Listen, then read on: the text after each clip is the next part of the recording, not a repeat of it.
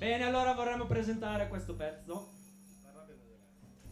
che si intitola come un ex componente della Sympathy Band che suonava con noi fino a poco tempo fa, fino a un po' di tempo fa. E poi insomma adesso non c'è più e ci ricordiamo sempre che eh, Angelo continuava a cantare questa, questa melodia, no?